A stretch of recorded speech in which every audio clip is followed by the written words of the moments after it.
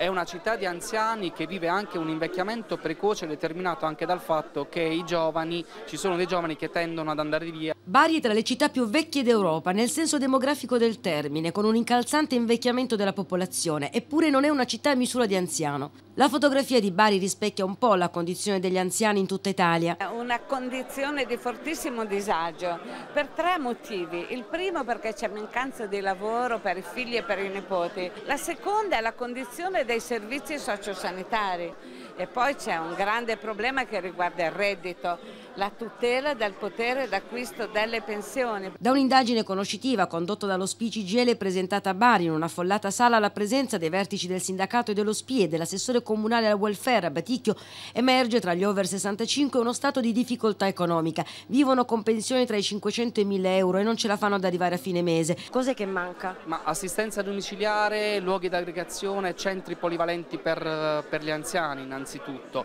eh, poter vivere con maggiore sicurezza nei quartieri anche, anche dentro casa. Di contro però i nostri anziani vogliono sentirsi parte attiva della società, essere una risorsa. Questo è un elemento come dire, estremamente positivo.